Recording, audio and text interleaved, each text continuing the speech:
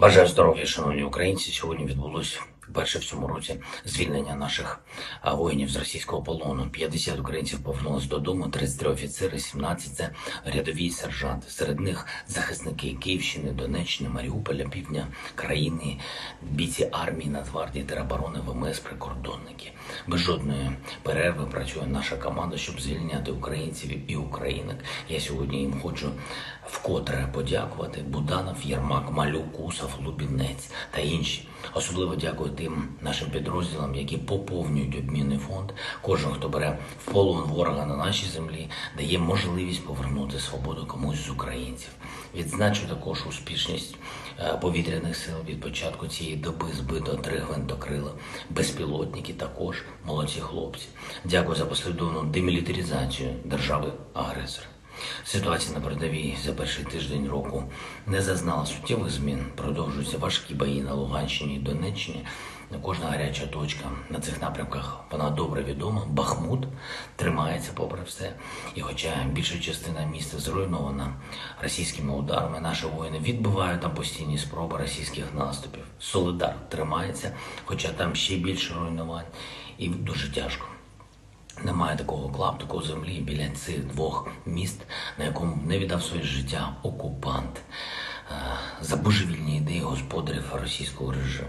Це одне з найбільш кривавих місць на фронті. Сьогодні командувач напрямку генерал Сирський об'їхав війська, які обороняються на підступах до Бахмута і Солидара.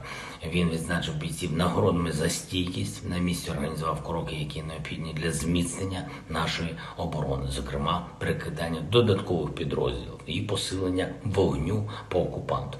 Треба розуміти, що всі наші позиції, всі наші дії в обороні взаємопов'язані, і від стійкості та ефективності дії в кожній точці фронту залежить стійкість та ефективність дій на фронті загалом.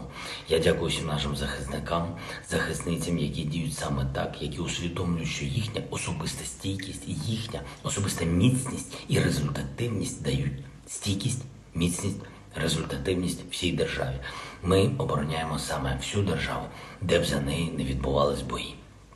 Готуємось до дипломатичних заходів, які ми запланували на цей тиждень. Очікуємо хороші новини для нашої держави, хороші рішення, які додатково посилять оборону. Світ знов побачив цими днями, що Росія бреше навіть тоді, коли сама ж своїми заявами привертає увагу до ситуації на фронті.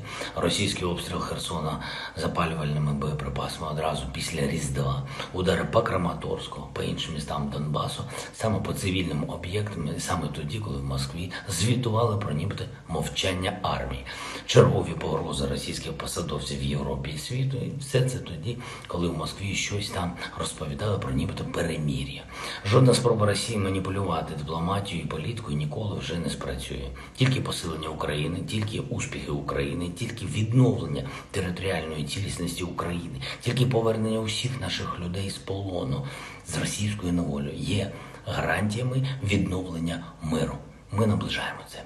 Слава усім, хто воює, працює заради перемоги нашої держави. Слава усім, хто допомагає нашій державі. Вічна пам'ять усім, хто віддав життя за нашу державу і за нашу незалежність.